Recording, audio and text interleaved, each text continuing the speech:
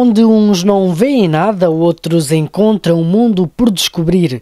Roupa a rigor, binóculos ou um guia de campo e uma máquina fotográfica são estes os ingredientes para uma saída pelo campo para o passeio de observação de aves que o Núcleo Regional da Guarda da Quercos organizou este sábado em Celúrico da Beira.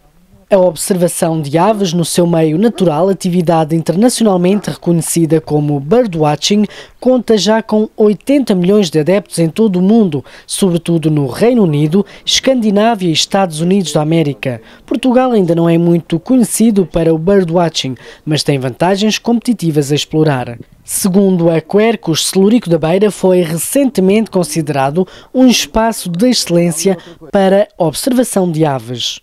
Este evento, que está integrado no, no, fim de semana europeu de observação de aves, que é um evento anual e europeu, uh, já costuma ser realizado pelo Núcleo Regional da Guarda da, da Quercos uh, e este ano surgiu a ideia de ser em Celurico da Beira porque houve um artigo divulgado na imprensa local há algum tempo que Celurico tinha sido considerado um paraíso para os observadores de aves. Uh, estamos a, a, constatar isso mesmo. Neste bocadinho já vimos mais de 30 espécies diferentes eh, e pronto, é um potencial eh, ecológico da biodiversidade existente aqui no, no Conselho que a Quercos tinha que aproveitar. Numa manhã com bastante nevoeiro, os birdwatchers puderam observar em poucos quilómetros cerca de 30 espécies de aves. Tratou-se de um percurso de baixa dificuldade com pontos de observação e escuta da avifauna.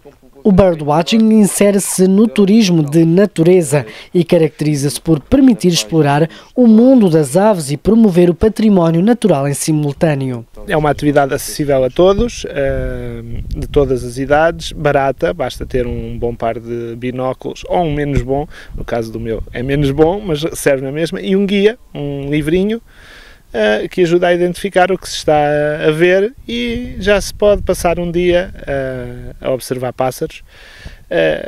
Pronto, é uma atividade que respeita a natureza, que é uma mais-valia também para, para, no caso para, para o Conselho de mas para os conselhos que, que, que apostam nesse tipo de atividade. A observação de aves ou birdwatching no seu habitat natural é uma atividade relaxante e fascinante que pode ser praticada por crianças, jovens e adultos, sendo um dos hobbies mais apreciados em todo o mundo. A grande diversidade paisagística deste concelho e a existência de diferentes ecossistemas, nomeadamente zonas úmidas, florestas, montanha, praias fluviais, escarpas e zonas agrícolas, tornam um local de excelência para a realização desta atividade.